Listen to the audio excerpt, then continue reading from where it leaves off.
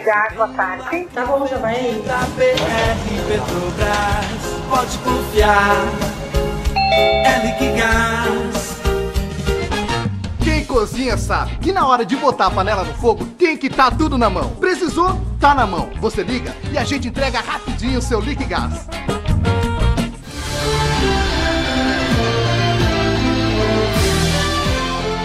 A Frente Parlamentar pela conclusão da duplicação da BR-116, coordenada pelo deputado Zé Nunes, promove nesta quinta-feira, 20 de abril, em Tapes, a coleta de adesões ao abaixo-assinado em prol da obra de duplicação da BR-116.